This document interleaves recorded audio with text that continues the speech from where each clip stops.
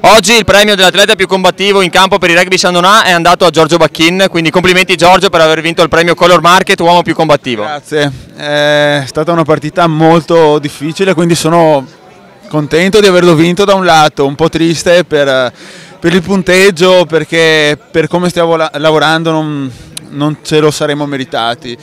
Purtroppo abbiamo dei limiti grossi, eh, dobbiamo lavorare ancora di più con tanta umiltà e a testa bassa e sono sicuro che prima o poi il lavoro verrà fuori. Verrà fuori.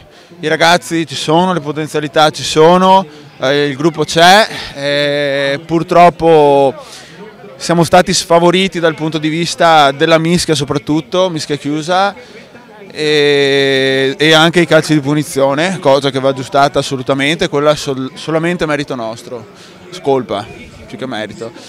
E, però sono sicuro, ripeto, che prima o poi verrà, verrà il momento in cui ci riscatteremo, in cui riusciremo ad esprimere al 100% il nostro gioco. Quindi per la partita della settimana prossima contro il Piacenza bisogna cercare di replicare il grande primo tempo di oggi e poi tenere alla distanza, cosa che invece oggi non è avvenuta. Esattamente, purtroppo abbiamo visto un calo soprattutto a livello di testa nel secondo tempo, non so neanche dovuto a cosa, sinceramente eh, certo è difficile eh, giocare una partita subendo sempre nelle fasi statiche, in particolare in mischia, perché comunque la touche non è andata male e, però sì, questo calo non è giustificato, non, non so a cosa sia dovuto, eh, sicuramente faremo meglio la, la, prossima partita, ne sono sicuro.